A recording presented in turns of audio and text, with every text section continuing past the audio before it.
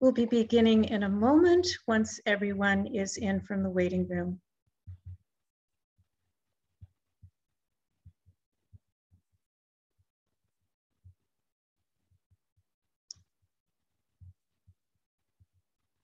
Well, good evening, everyone, and thank you for joining us and welcome to tonight's program. Before we begin, a reminder that this program will be recorded and uploaded to YouTube. Please direct any questions that you have at any point during the evening uh, through the Q&A button at the bottom of your screen. The Jewish Heritage Center of Western Canada is located on ancestral lands on Treaty 1 territory, and the Red River Valley is also the birthplace of the Métis. We acknowledge the harms and mistakes of the past, and we dedicate ourselves to move forward in partnership with Indigenous communities in a spirit of reconciliation and collaboration. May we live with respect on this land and live in peace and friendship with its peoples. The mandate of the Jewish Heritage Center is to develop, interpret, and disseminate information on the history and culture of Western Canadian Jewry, and to develop an awareness of the history, moral, and ethical implications of the Holocaust and other human rights violations. As one of our generous supporters so aptly put it, in order to look to the future, you have to preserve the past. Tonight, on the eve of Kristallnacht, we mark the third event of the Jewish Heritage Center for Holocaust Education Week. We thank the Jewish Federation of Winnipeg for its partnership and ongoing support, as well as the Azrieli Foundation, the Jewish Foundation of Manitoba, and the Asper Foundation, all of whom help to ensure that Holocaust education reaches thousands of students and adults each year with our programming. Teaching about the Holocaust requires sensitivity, knowledge, and training. Best practices in teaching this subject have evolved greatly in the last decade. The International Holocaust Remembrance Alliance, or IHRA, has published guidelines for teaching and learning that focus not only on the how, but also the why. The Jewish Heritage Center is proud to provide professional development opportunities to Manitoba educators in partnership with Manitoba Education and Training, Yad Vashem, the Azrieli Foundation, and others. And we are pleased tonight to bring you one of Manitoba's star Holocaust educators. Kelly Hiebert has been teaching at Westwood Collegiate for 15 years. His core subjects include American and Canadian history, Western civilization, and international baccalaureate history with a concentration on the Americas, looking at the rise of authoritarian states, the move to global war, and Cold War politics. He has been studying the Holocaust for over 20 years with a focus on best pedagogical practices in secondary schools. Kelly majored in history at the University of Winnipeg, taking courses in Slavic studies, Soviet intellectual history, Eastern European history, and the Holocaust. Kelly has taken part in many renowned professional development sessions on teaching and learning about the Holocaust, including Yad Vashem, Tel Aviv University, Echoes and Reflections, and local initiatives such as the Jewish Heritage Center's Holocaust and Human Rights Symposium. He is currently working on his Master's in Education from the University of Manitoba in Teaching, Learning, and Curriculum Studies with a focus on Holocaust education. And as part of his studies, Kelly created the Westwood Historical Society that gives students agency and voice in social justice issues in which they want to become active participants. This has included the documentary Truth Against Distortion Survivors Speak Out Against Hate, that focuses on the rise of hate and anti Semitism in Canada. This project has led him to become a finalist for the Governor General's Award for Teaching Excellence in History. And as well, he will be taking part in another Holocaust sites tour with Professor Jody Perrun in July of 2022. Kelly. Thank you so much for that uh, fine introduction, Belle. Uh, it's a pleasure to be here, and I just want to thank everybody in the audience for tuning in.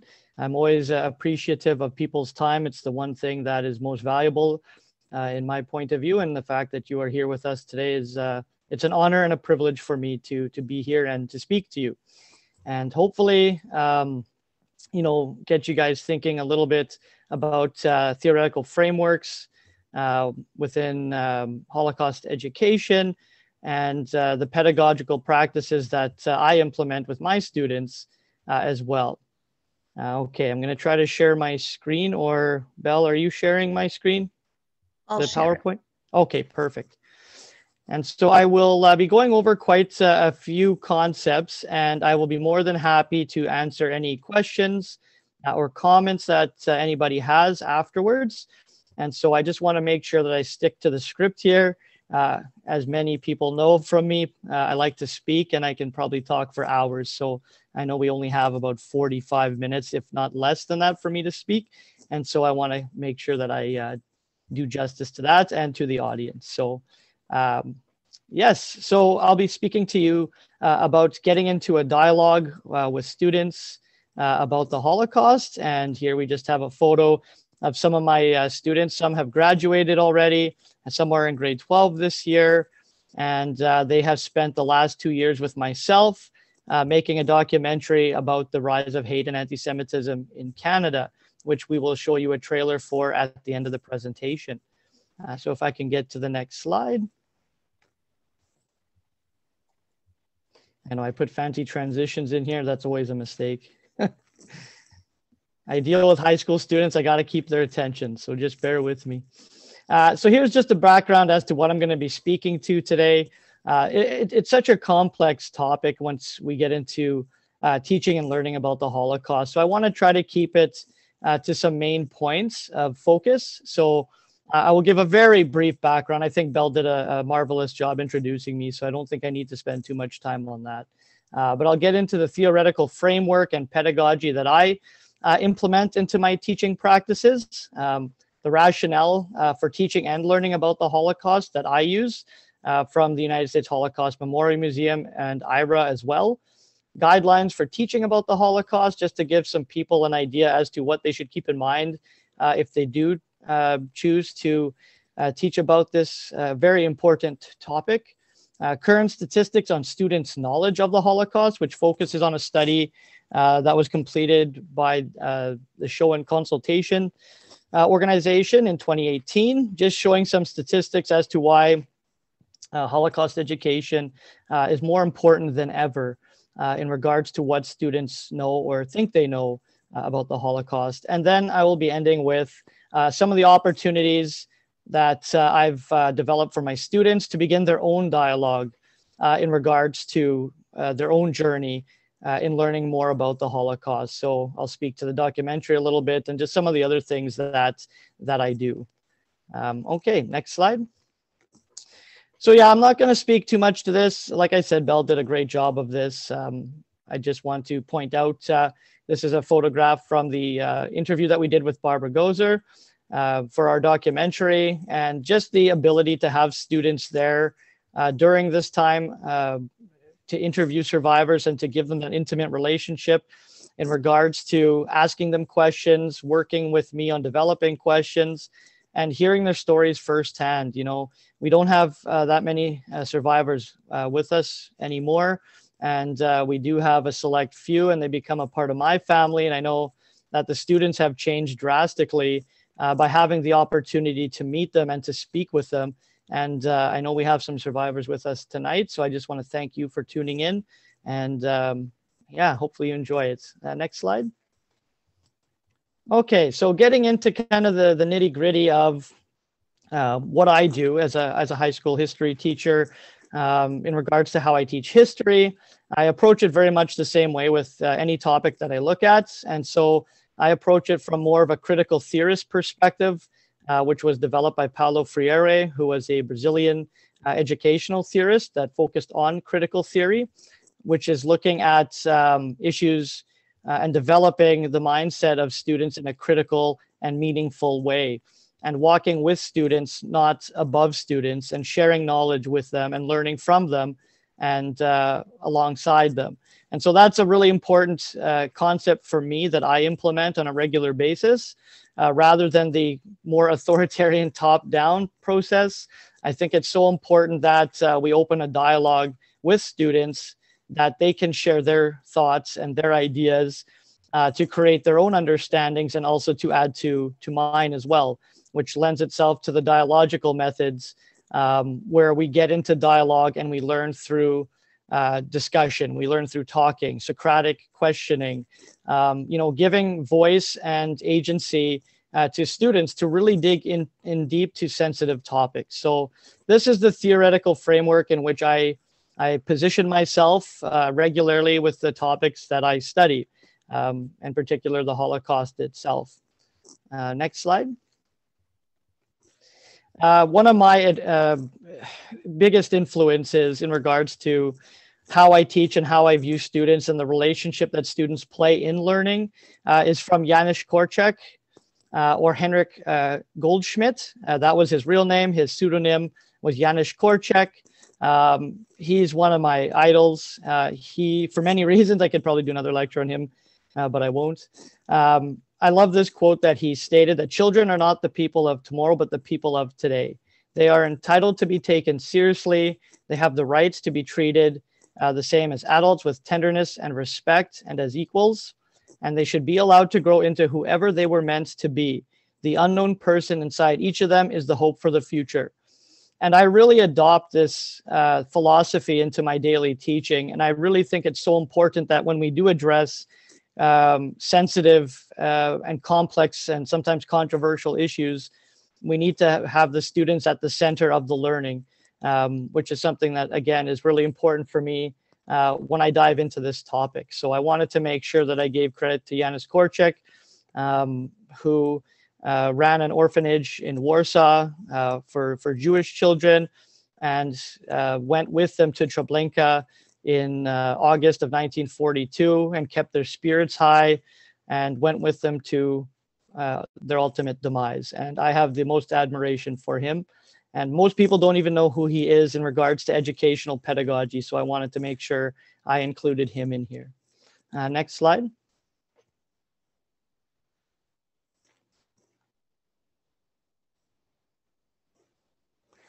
Okay, so there are many different rationales for teaching about the Holocaust. These are three key ones that I found uh, that are important to me, and uh, I've I've I borrowed them from the Holo- uh, United States Holocaust Memorial Museum. As teachers, that's what we do. We steal a lot of ideas and uh, we take what works for us and implement it into our daily teaching. So, a big part of this is to get students to reflect on the roles and responsibilities that uh, individuals and nations played uh, in the Holocaust, confronting the abuse of power, um, civil and human rights violations, genocidal acts. You know, we, we look more uh, at uh, the victims, trying to give the victims a voice that is often ignored because so much focus is is placed on the perpetrators or collaborators that a lot of the time the victims end up uh, being ignored, which I think is is shameful and it's a disservice to um, teaching about the Holocaust. And I think that's so important that we we include that. Uh, the second thing is to provide context for students uh, to explore the fears, pressures, and motivations that influence the decisions of behaviors of individuals during the Holocaust. Uh, it's such a complex topic, and I, I don't consider myself an expert by any stretch. Um, but it's so important that we approach it, we confront these uh, events, and we connect it to feelings and emotions that students can feel. Uh, not to compare the, the Holocaust to you know what students go through today because that would that would be uh, er- erroneous to say the least but to understand the fears that people had that that that kids had um, of the students age that i teach the pressures that they felt uh, in regards to the the events that they lived through and then the motivations like what motivated um, ordinary people ordinary citizens to you know take part in these pogroms german citizens to that took part in hiding uh, uh, some of the Jewish families that lived in the same buildings. Like we need to look at multiple perspectives to really give uh, the context to what was really happening. not just to look at it from one lens, but from from many. And one thing that I really want to, to point out here is that the Holocaust uh, was not inevitable. It was preventable. And we have to understand that governments made choices and that uh, not only uh, legalized discrimination, but also allowed prejudice, hatred, and ultimately mass murder to occur. Uh, I think this is a, a, very important point to hit home that it was preventable. And it's really sad when we look at Canada's role uh, in, in neglecting uh, the Jewish uh, suffering, the United States, and pretty much any other country besides the Philippines, Hong, uh, China, and a very small uh, set of other countries. Uh, and so we need to understand that a lot of countries played a role in this, whether or not they understand that or accept that, that's a whole nother uh, challenge. Uh, next slide, please. Uh, so when we when I teach about the Holocaust, you know, the language that I use is extremely important. Staying away from stereotypes, staying away from uh, colloquialisms, or or anything that could sway students to have a misunderstanding um, of what we're talking about. So the language that I use is very clear. It's very intentional, and I make sure that that's clear to the students when we study it. Uh, the second is the balance of perspectives. I really focus on uh, Dr. Gregory Stanton's 10 stages of genocide as my, uh, as my framework for looking at the different perspectives. And, you know, uh, specifically when we're talking about Kristallnacht, you know, we're not just looking at uh, the Nazis, we're looking at, you know, ordinary citizens, we're looking at the Jewish families, uh, we're looking at journalists um, and others that, that played a role at this time in reporting it, in reacting to it, uh, etc., to try to give students a full, um, as, as best perspective and understanding of the situation as, as we can. Um, definitely avoiding uh, generalizations and trivializing events, which can lead to and does lead to uh, more distortion today. That's on the rise more than ever, um, especially with social media and the, the way that students get their information. They just tend to, to go to uh, one of the leading um, social media networks, and they, that's what they take as truth. So we really have to break down and disseminate those events. Uh, the next one is contextualizing history. This is something I find a lot of people end up skipping. They go into the rise of the Nazis, they study World War II, they look at the extermination camps and the ghettos, uh, they look at life afterward, maybe when they come to Canada, but they often skip what Jewish life was like before. And I think that's shameful. I think that's, uh, again, very erroneous because to get an understanding of what was lost and how impactful it was, uh, you know, we do really have to have a, at least a bit of an understanding of what Jewish life was like before uh, the Holocaust in Western and in Eastern Europe, because that differed drastically as well. And again, giving a voice to the victims. I try to connect my students uh, with their ages to the people that were impacted by the Holocaust. I try to use other sources other than uh, Anne Frank's diary, although that is a great resource. Um, she experienced it very differently from others that were living in Poland uh, or in Romania, Hungary, or other parts um, of Eastern Europe. So I try to try to give students, you know, various perspectives from females, males, um, students of, of different ages so that they can connect and relate to uh, some of the daily um, experiences that were happening at the time. And then the last part is as teachers, we really need to think critically about what themes do we want to address. Uh, a big problem that I find talking with my colleagues and with other teachers is that they just find the topic too daunting. It's too large, it's too complex, and so they they tend to avoid it, which I think is worse than than trying to learn more about it and address it in a way uh, where you can be successful and effective. So you really need to think of the themes that you want to look at. Uh, that could be anything from Jewish life before, you know, culture, uh, looking at religious beliefs and how, how did that play a role, looking at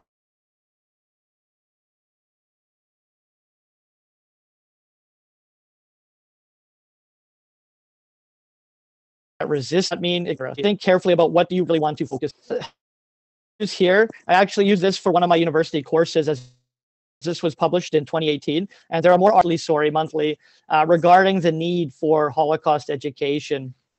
And so some of the statistics I put in here is just to show you uh, what some of the students, uh, what their knowledge of the Holocaust is in regards to millennials and Generation Z students. I'm, I'm not talking about uh, adults here. There was a study done with that, and the United States did uh, what was called the 50 state study. So you can literally go on and look at every state in the United States and how well they're doing uh, regarding Holocaust education. But I wanted to keep it uh, uh, to Canadian content uh, here. So 63% of those surveys did not know that 6 million Jews were murdered. They thought that it was under 2 million. Um, they, they didn't realize how many camps existed and the variety of camps, and they couldn't name a single one. Some of them were able to name, you know, Auschwitz, which a lot of people have heard of, but there were over 40,000. Historians say anywhere between 42 and 44,000 camps uh, existed uh, during World War II and um, the average ages that they're looking at is ages 18 to 39. Uh, I put the link down below. If people are interested, they can go and, and look at all the data that was discovered and, and collected. Uh, but I wanted to give just an idea that there is a concern here that this is the stats are going up, the percentages are going up, but not in a good way. It's not that students are learning more and understanding, it's they're learning less and understanding um, uh, even some of the basic facts. Um, so I wanted to include that for you as well. Uh, next uh, slide. So this was part of the study as well. I just I selected a couple charts to show you or to share with you. Um, this is chart five, familiarity with key Holocaust figures, showing the percentage of all Canadians and millennials and Generation Z uh, students. So again, age 18 to 35 roughly. And it shows you in, in blue the percentage of all Canadians and what their knowledge is as well as the red uh, coloring with millennials and Generation Z. And I just want to show kind of the relationship. Oh, if we could go back just real quick. Uh, I mean, we see key figures like Adolf Hitler and Frank, uh, Oskar Schindler. I mean, most people have maybe heard the name, but they don't know too much about him. But I think the the, the sad part for me is when we get to the last person, uh, Elie Wiesel, uh, who is a very well renowned, well, well renowned to those who study the Holocaust uh, Holocaust survivor who wrote the uh, his biography uh, or autobiography, Night. Uh, many people have never even heard of him. And so this is again showing the importance of putting emphasis on the victims and not just looking at uh, the Nazis and Adolf Hitler. Sorry, Belle. Thank you. Next slide. here's another table showing Holocaust education perceptions. Uh, during the data that was collected. So he's showing the percentage of all Canadian adults and millennials and Generation Zs uh, in regards to the statements all students should learn about the Holocaust while at school. Adults say 82%, and millennials also recorded at 82%. And then the second box, it is important to keep teaching about the Holocaust so it does not happen again.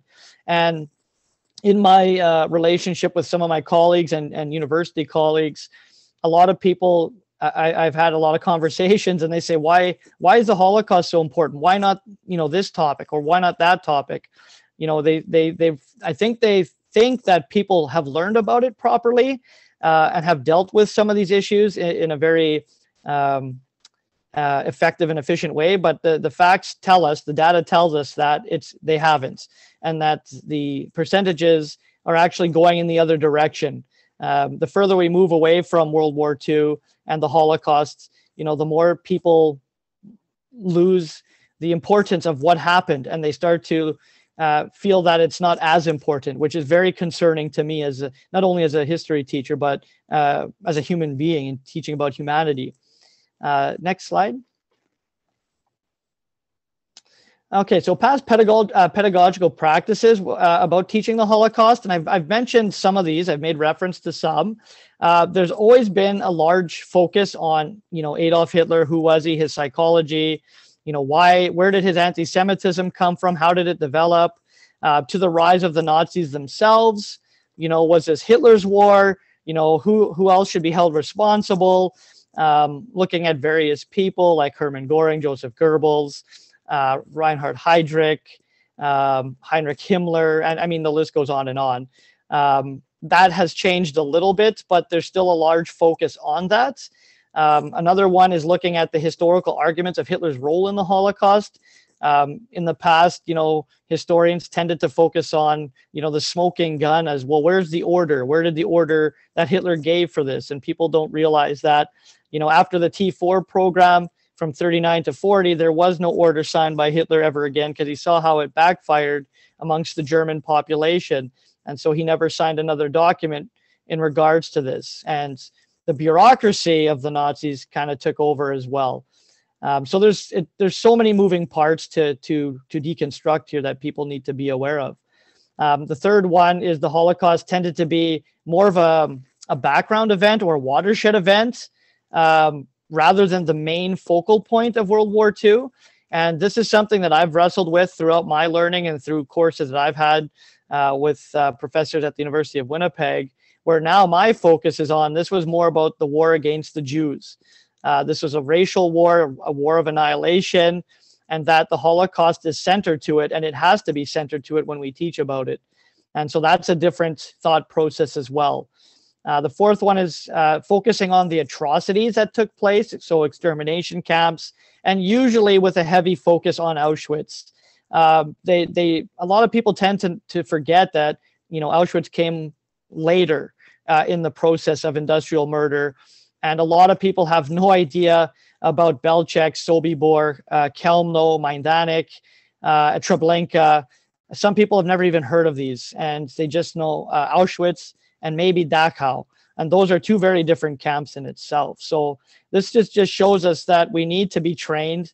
Uh, there needs to be emphasis on teaching this and getting it right. Um, the fifth one, uh, only recently has there been a movement to focus more on the victims and resistance, and specifically uh, focusing on uh, the Jewish perspective, Romas uh, in particular as well, um, Slavs and others that were targeted, Jehovah's Witness, Freemasons, uh, and their collaborators. So this is something that's becoming more uh, prominent, especially in my teaching, and this is what I recommend to others as well. That they really need to to uh, focus on the victims because again, uh, a lot of the times it's it's the Nazis, it's the it's the bureaucratic machine. Um, you know, it's the it's the killing, the brutality, but then we forget about the people that this actually happened to, and that really angers me when I when I hear about this because that's that's a disservice to to the to the people that uh, were were killed. Uh, the last one is there's a rise in revisionism uh, to distort the Holocaust, and by this what I mean is you have countries like Poland, Hungary, Croatia that are continuously rewriting their history, that are saying specifically for Poland that they suffered just as much, if not more, uh, than the Jewish people uh, and therefore they they don't even acknowledge the suffering uh, of the Jewish people to an extent. And I'm talking about the government in particular. Um, and and this is an issue. This is something that is very concerning. Um, Jan Grabowski, uh, who's a professor at the University of Ottawa, who has written substantially on the roles of uh, some of the Polish collaborators. Um, but the, you know, and he also talks about the the, the Poles that helped and it's it's not a matter of of pointing fingers it's it's about reporting the truth and i think that's something that is extremely important when we teach about the holocaust is we make sure that we tell the truth uh, next slide. Okay so uh, uh again i'm not going to you know go over this too much. Uh, I think Friedlander, uh, who is an educational uh, specialist from 1979, not to, uh, to, to confuse with Saul Friedlander, who is a Holocaust scholar uh, as well. But something that he said was that the problem with too much being taught by too many without focus is that this poses the danger of destroying the subject matter through dilettantism or by romanticizing or um, you, you know avoiding the facts you know taking away from it by trying to generalize it uh, to give people an understanding uh, it is not enough for well meaning teachers to feel a commitment to teach about genocide. They must also know the subject. And I think that's really important. And this is why training, professional development uh, is so essential to this. And this is a part of what I want to do after my master's as well, is to help train teachers and work in association with uh, the Jewish Heritage Center uh, of Western Canada and other organizations to help uh, perpetuate this training. And we must confront uh, the issues of the Holocaust. Um, we don't just teach it, we confront it, and we confront it together as teachers and students alike. Um, it is emotional. I mean, if you don't get emotional when you learn about it, um, that's kind of distressing to me. And every year that I teach about it, I, I'm the first one to show emotion. Um, I'm the first one to be vulnerable and express how how this makes me feel as a teacher, as a father, as a brother. Um, you know, it, you got to relate and you got to connect to it and try to make that uh, relevant to your life. Um, so First, uh, when we look at research showing that many educators who consider teaching uh, the Holocaust feel deterred from doing so.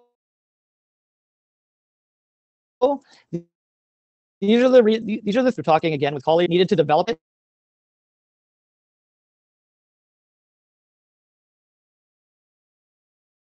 Um, oh, my connection again. Sorry, apologize. Uh, uh, they feel like they don't have the subject matter knowledge. It is overwhelming historically and pedagogically because the Holocaust is, quote, is a thorny subject. Teaching it can be like trying to find one's way through a minefield.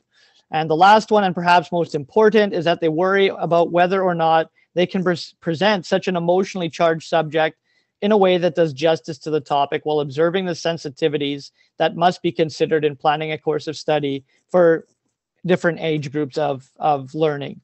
Uh, and I'll touch upon this in the next slide, I believe.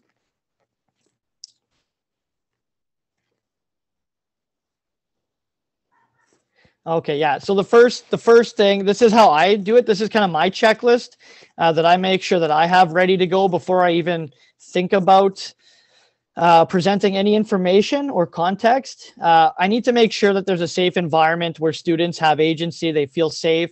Uh, they feel that it's okay to show emotion. It's okay to be angry. It's okay to be sad. Um, sorry, I don't know why I'm getting emotional. um, but they need to feel that they have uh, a right to, to, to be expressing themselves and that it's okay to have those emotions when learning about uh, this topic. I think that's that's normal. That's natural. Uh, we need to know what our students' needs are. We need to know how they learn emotionally, cognitively, physically, spiritually. Um, if you don't know your students, then you can't, I don't know how you can teach them anything. But when we approach a topic like the Holocaust, we really need to know our students. We need to know where they're at. We need to know if there's any possible triggers that could impact them. And this is something that that I take uh, personally. Uh, every year that I touch upon this, I try to make sure that I have a good understanding of my students, uh, and I develop my units around them. Um, that we have a dialogue it's ongoing it's active it's okay to show emotion it's okay to be vulnerable um, again i've i've cried in front of my students. Um, i'm just an emotional guy. I just i can't hold it in. I can't hide it. Um, and i i think that's important for them to see uh, the teacher being able to be open and not you know re, you know reserved or or guarding their emotions because then they might not genuinely interact and connect with these topics. Uh, obviously, including access to primary documents. I try to use uh, as many local survivor stories as possible to let them know that Winnipeg has a large, or we still have uh, survivors living in Winnipeg. They have a story that needs to be heard and told. Um, you know, it's not just about uh, the brutality, although that is important for students to learn about, but it's also important to learn how these how these people live day to day and the struggles that they went with uh, went through on a regular basis, um, so that they can build that that personal connection to the person that they're learning about. And so those are just uh, some examples of primary documents. And then the last one is obviously with, with, COVID, it's hard to connect students with with local Holocaust survivors, but you can do it through Zoom or you can watch uh, testimony. That's there's plenty a plethora of of testimony out there. Um, and for me, I've just been very blessed to be able to have my students be able to interact and interview Holocaust survivors themselves. And I think they've changed as people in a positive way. Uh, next slide. Uh, I, I, give as many opportunities for my students to to go and hear from others, others that are specialists in this field, not just from me, but to hear multiple perspectives. I think it's so important to give voice uh, to those that were marginalized during this time, to hear from the Jewish community and their thoughts and their feelings uh, regarding these issues. I think that's uh, something that's really needed in many topics uh, of study. And so here's just one example uh, learning about anti-Semitism today uh, through political cartoons in Canada and the United States, um, giving them an, uh, um, a hands-on experience where they can ask specialists about these issues as well. Uh, next slide. Uh, again, students hearing from survivors. I again, I can't express how privileged I feel today um, to know the survivors that we interviewed. I feel like they're my family and I'm their family. Um, I, I, continue to visit with them uh, as much as I can. Uh, Frank, as you can see on the, I guess it'd be my right. Um, I just had coffee with him the other day, and he's he's kind of like a grandfather to me. Uh, my grandparents are gone, but he he's kind of like an adopted grandfather for me. And then on the left we have Angie, who uh, is from Montreal, and all of the survivors that we interviewed uh, have a big place in my heart and I make sure to keep in contact with them. And same with the students. The students are always asking how are they doing, and want updates, and and they want to hear about how the students are doing. So it's it's really interesting to see the relationship that has built uh, amongst my students and the the survivors themselves, which I think is quite unique. Uh, next slide.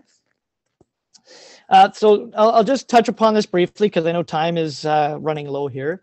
So I, I, came across three things, and this is uh, found um, uh, in the IHRA uh, handbook for uh, and research about teaching about the Holocaust, and three things to avoid.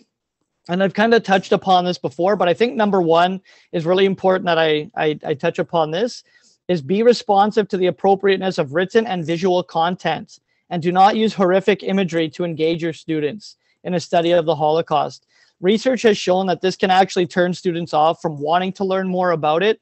And in my opinion, it, it, it dehumanizes and victimizes those that were were killed and it takes away that humanity. And so i do my best never to use any of those horrific images. I try to show images of them before um, before the holocaust and memoirs and other journal entries um, as the process kind of evolved. Uh, but I really do encourage people to stay away from uh, the grotesque uh, photos that are out there, especially when you're dealing with high school students, depending on the age level, you really have to be aware of, of what they're able to handle.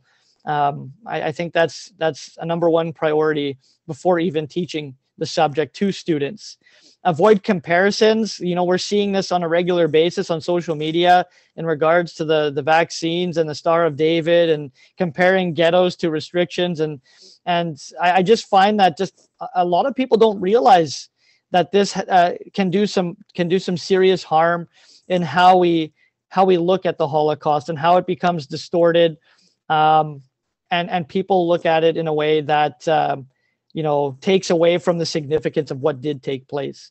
Uh, okay I, uh, yeah avoid simulations.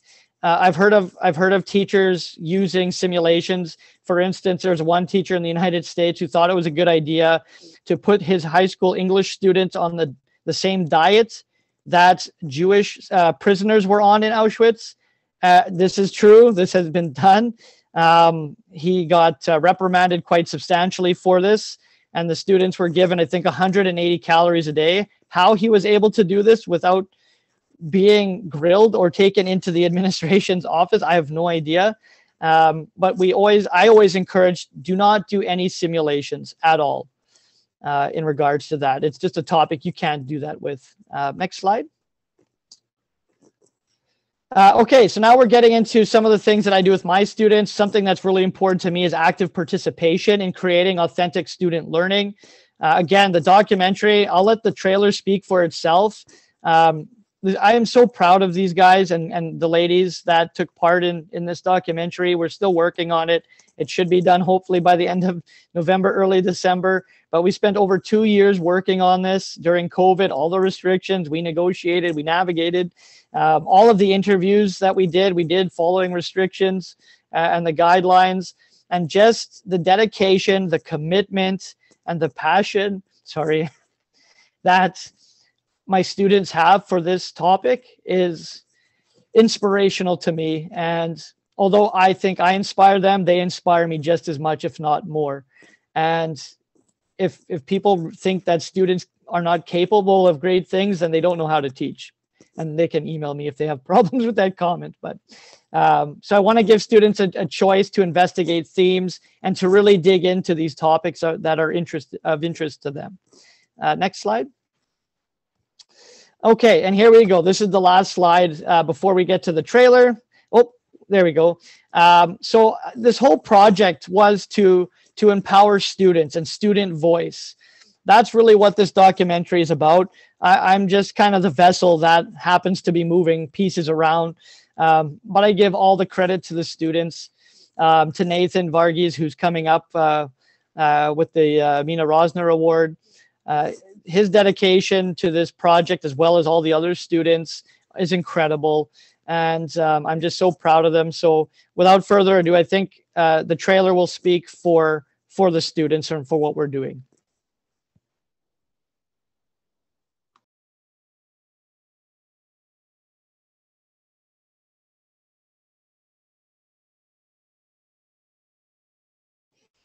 And let's hope that the link is going to work.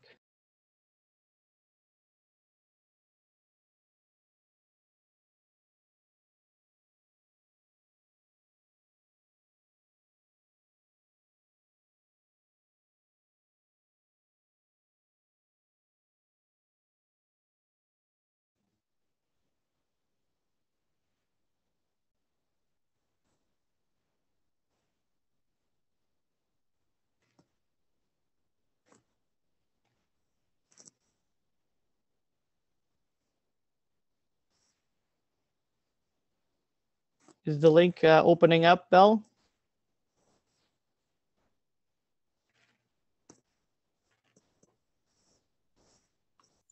Are you not hearing it?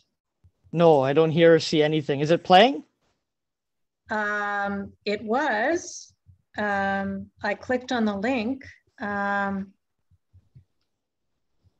I just see not, the power. Yeah, I don't. I just see the PowerPoint and myself.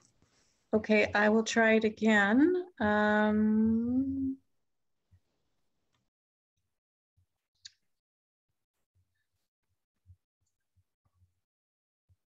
that's not, okay, just a sec.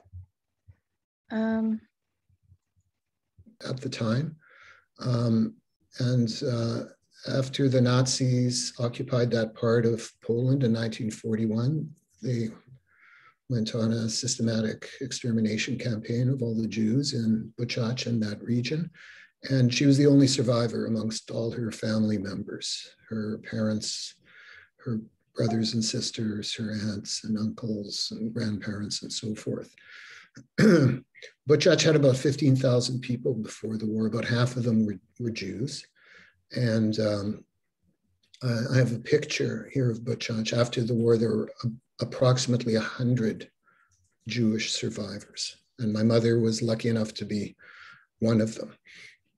Um, she was separated from my father, who was also really one of the only survivors of his family uh, in the Holocaust. And they reunited after the war and they moved to Canada and, in 1948. Um, the child she was pregnant with um, was born and lived till age three and died during, during the war. Uh, and then, then there were two more children born, my brother and myself. Um, and as Bill mentioned, um, my mother did uh, spend a lot of time and effort trying to educate people about what happened during the Holocaust. Um, she spoke to lots of kids and, and students and wrote articles and amassed a lot of uh, information and literature about it. And um, and wrote a book. And um, and so when she died in 1997, uh, there was a lot of generous donations to a fund that we set up, uh, and the fund goes to um, uh, sponsoring this annual um, prize. Uh, and and my mother, of course, uh, was a survivor of the Holocaust, very knowledgeable, of course, about what took place during the Holocaust, not just her own family story. But um, we deliberately called the, the prize a human rights prize because my mother believed that um, it's not that it's not just Jews that have to um, or, or, Jewish um, issues that have to be highlighted, but human rights for all people um, across the world. And so this this essay prize, in which um, high school students are allow are enter every year, uh, can focus on the Holocaust, or they can focus on other human rights issues. Just want to tell a, a really brief story um, about uh, my mother and I in 1990 uh, went back to her hometown. It was the first time she had visited her hometown since uh, leaving in 1948. Um, and uh, we, we, we toured uh, a, a, few different places. Kelly talked about visiting uh, some of the uh, actual locations. I think that's a very important thing for students and other people to try to do. We did that as well. Uh, we, we visited Majdanek. We also visited Belzec, which not a lot of people know about. Um, it's, it was an extermination camp in which between five and 600,000 Jews were exterminated in, including my aunt, my mother's sister. And just to give you an example of the revisionism or um, deliberate disinformation and misinformation that is perpetuated on some of these things. Um, when we got to Belzec, we got into a cab. And we had a film crew with us, and we created a documentary about this trip. We got into a camp, and we said to the cab driver, Take us, please, to the site of the extermination center. And he didn't know where it was. So the taxi driver in the tiny little village of Belzec in Poland had no idea where the site was of a place where half a million people were exterminated. So think about that for a second. How is that even possible? But here's, here's something to think about.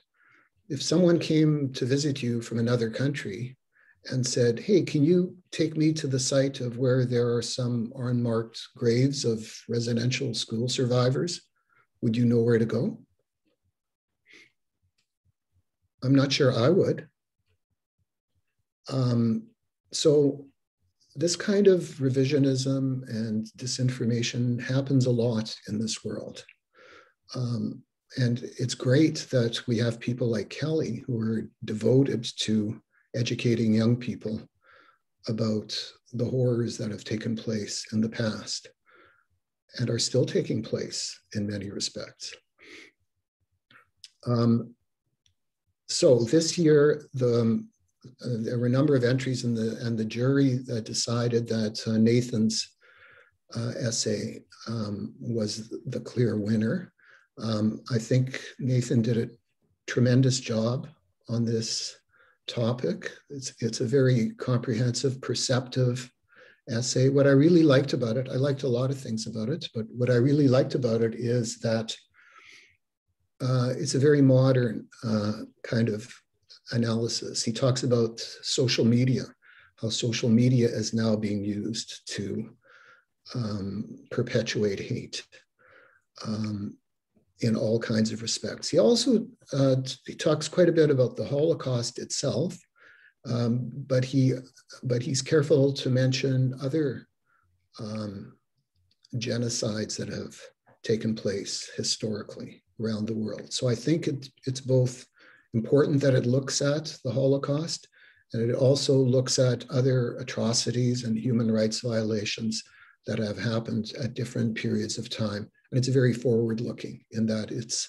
looking at how social media is now actually a very dangerous tool in the hands of the wrong people. So I want to congratulate Nathan um, on winning the um, Mina Rosner Essay Prize this year. And um, I hope you go on to um, great things in your future education and continue um, telling this story and educating people about these topics. Thank you, Nathan. Congratulations. Thank you.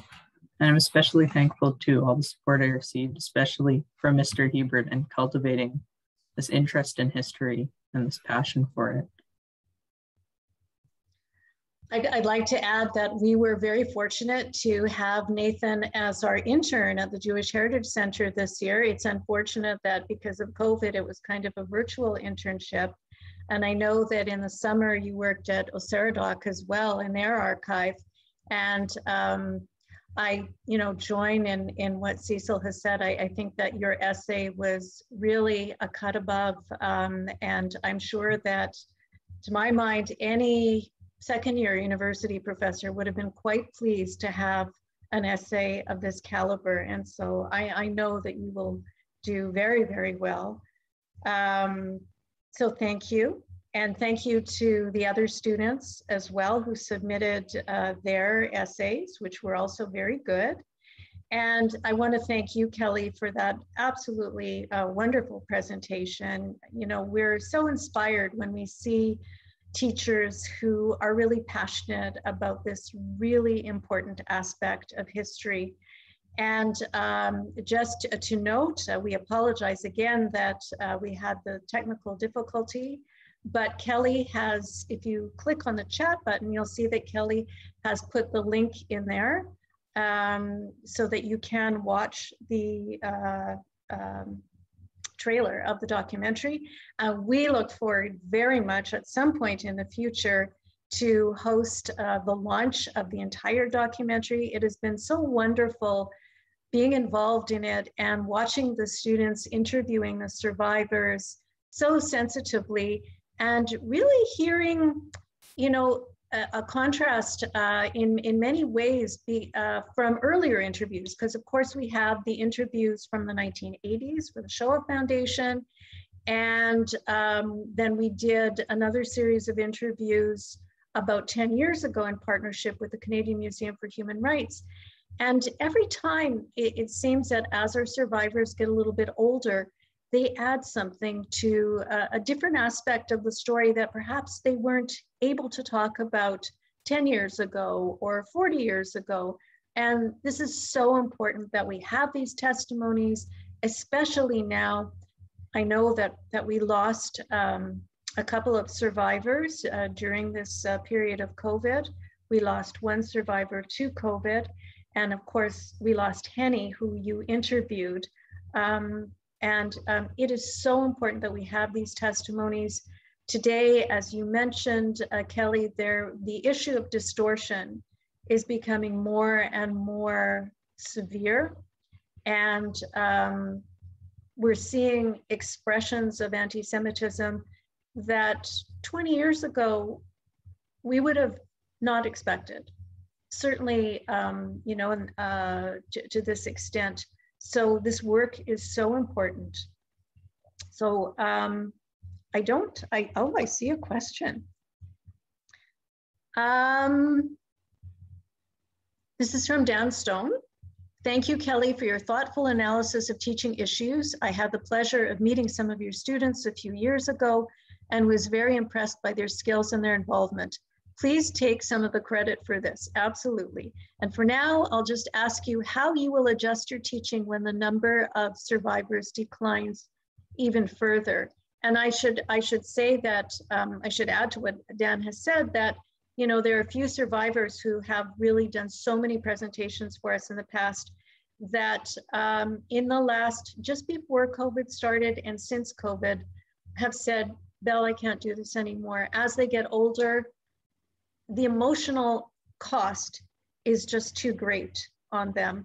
And um, for many of them, just the experience of COVID and, and, and being alone um, has been very, very hard on them. So uh, local survivors who will speak in person, you know, we, we, have, on, we have only a, a couple. Um, so over to you, Kelly. Um, how, how do you foresee the, the future? Thank you, Professor Stone. Uh, I can call him Daniel now. He was one of my professors and a mentor to me, and I loved his courses. And I wish he was still teaching, but that's okay. I still learn from him through conversation.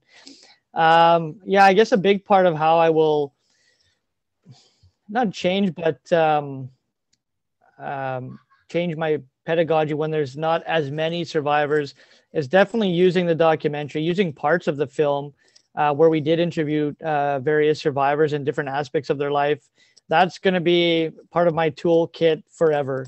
Um, and using other interviews that have been done in Winnipeg as well. Um, but always using their stories to to connect and, and trying to introduce uh, survivors from Winnipeg to students that have no idea that we had such a large uh, group of Holocaust survivors, and they all have such a unique and important story. And so, um, and and just my conversations with them, I've learned so much from them from just talking with them. I will never forget our interactions with each other, and I will bring that to my teaching as well. To be able to say, you know, at the coffee table when I was having coffee with Barbara and her daughter and uh, Sharon's husband uh, you know, we talked about this, or they mentioned that, or having coffee at McDonald's with Frank, and he brought up another story. Like those are, are things that will always be with me, and I will always include them in my teaching because it's part of that dialogical conversation. And to be a good history teacher, you have to be a good storyteller and get people into the story that you're telling. And I use their stories. I don't use my own, and that their stories tell it, and it's strong enough. So I hope I answered that uh, well. Um, so taking that further, um, what do you, what is your opinion on um, using um, the second generation to tell their parents' stories? I know that um, there have been several times where I've done that where we haven't had a survivor. And of course, there are people out there such as Sharon who know her mom's story so well. Um, what do you think? Yeah, I think that's really important too. Um, and that's something that I would definitely include into my teaching as well. Uh, and I know Belle, we've talked substantially about it and getting your parents' story that we had in our documentary as well.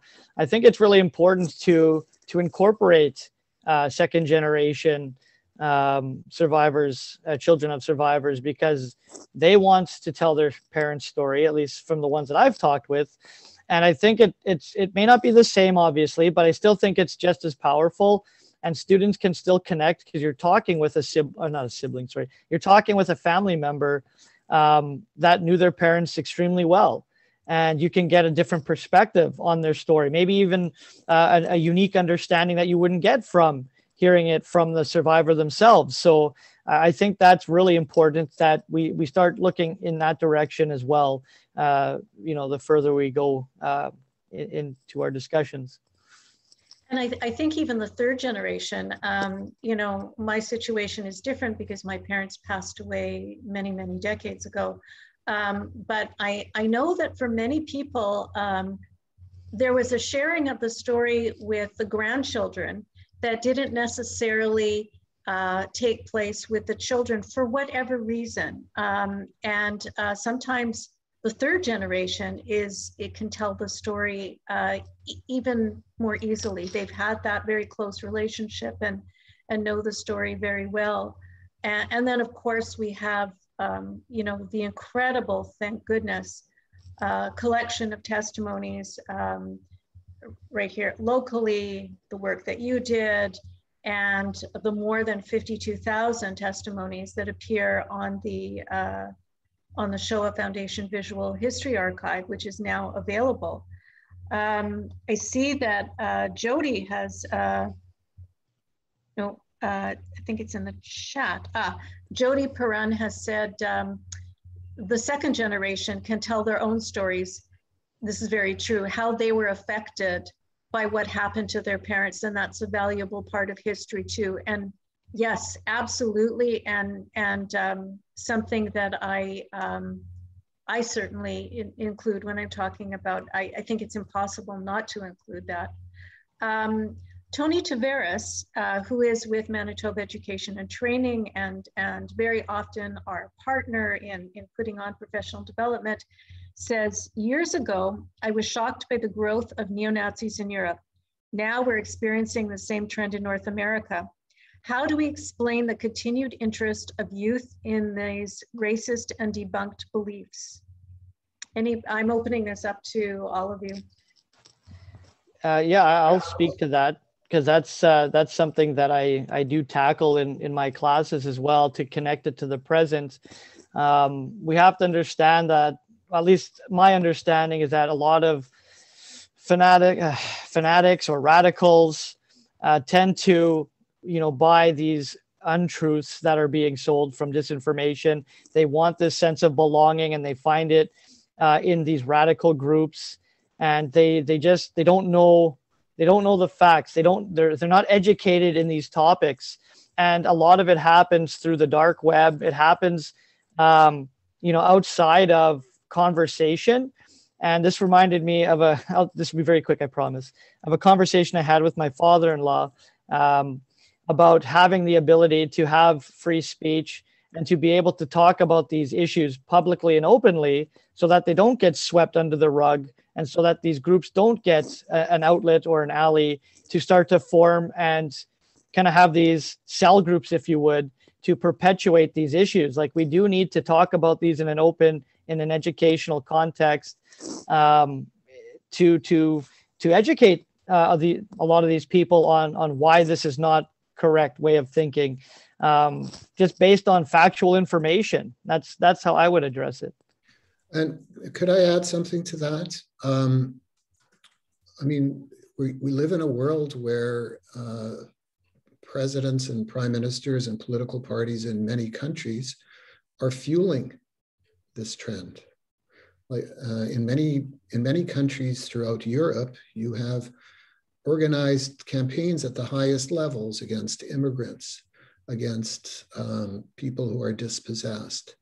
Um, and so sure there, there's there's these radical fringe elements but you know when you have a us president for instance who's building a wall and banning banning immigration from muslim countries um, this is this is giving encouragement to all of these types of trends which is why it's so it's so important for anyone interested in human rights or anyone interested in truly interested in making sure that some of these events never happen again, to, um, to speak up uh, at any abrogation of human rights, whether it's in your community or somebody else's community. You know, when um, my wife and I were in uh, Berlin a few years ago, we visited Sachsenhausen, um, which was one of the early camps that the Germans set up in 1938 39.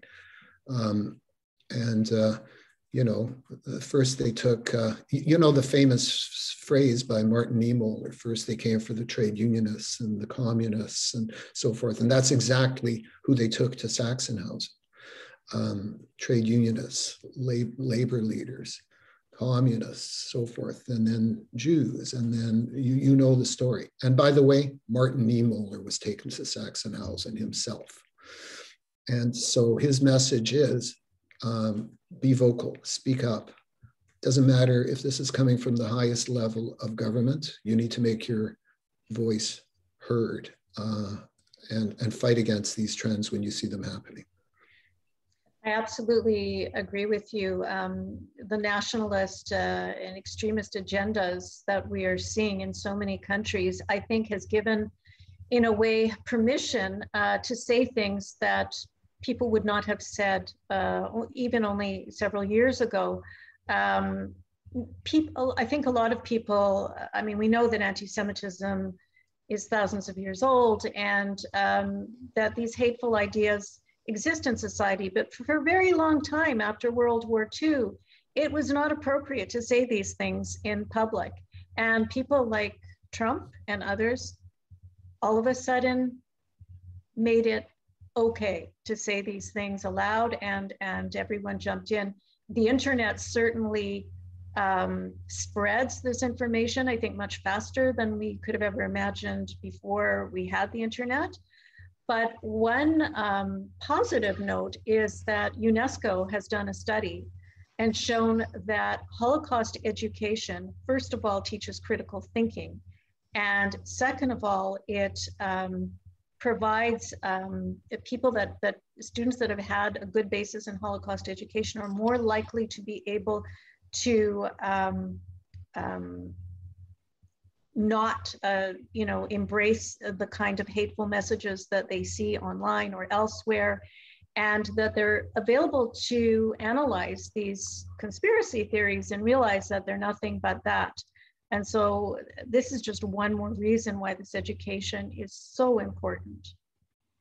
Yeah, and I'll just jump in on one quick thing here that uh, that Cecil brought up is something like it's it's about uh, uh, giving agency, giving voice to students, and and telling them it's okay to speak up, and that they have to speak up for those that sometimes can't speak up uh, for themselves. And I think that's exactly what this documentary is about. I think this is what I do on a regular basis when we look at primary documents and we look at current events and and we look at how anti-Semitism is is on the rise again, and just different forms of hate as well, xenophobia, Islamophobia. Um, you know, we look at it as a human issue, right? This is humanity, and it comes back to the question I first asked myself: is you know, what kind of world do I want my kids growing up in? That's really what started this whole passion for me.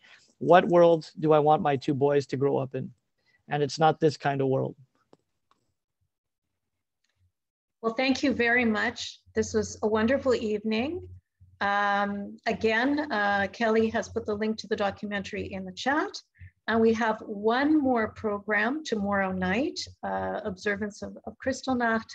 And um, this will be uh, the last of several programs in Winnipeg's first time having Holocaust Education Week. So tomorrow night, we will be showing a film about an expedition to Vilna in which ground penetrating radar was used to look at the remains of the synagogue. And while they were doing that, they discovered the remains of um, an escape tunnel that was dug by Jewish prisoners that over the years was often talked about, but there was no proof. And some people thought that it was just um, a myth.